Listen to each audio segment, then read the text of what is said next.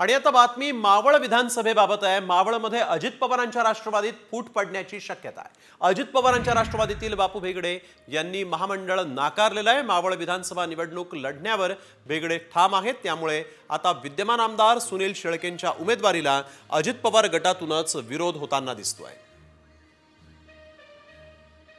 मी कोणत्याही पक्षाचं किंवा मी कोणत्याही पदाचा महामंडळाचा सुद्धा आग्रह धरला नाही. मी आग्रह धरला विधानसभेचा. मला पूर्ण खात्री आहे की मला उमेदवारी मिळ मिळणारच आहे. आणि जर उद्या याच्यामध्ये काही झालं कमी जास्त झाला किंवा बदल झाला त्यावेळेस माझे कार्यकर्ते सगळे आहेत. राष्ट्रवादी काँग्रेसचे कार्यकर्ते आहेत. त्यांना एकत्र आम्ही सगळे बसू. काय निर्णय घ्यायचा त्यावेळेस घेऊ.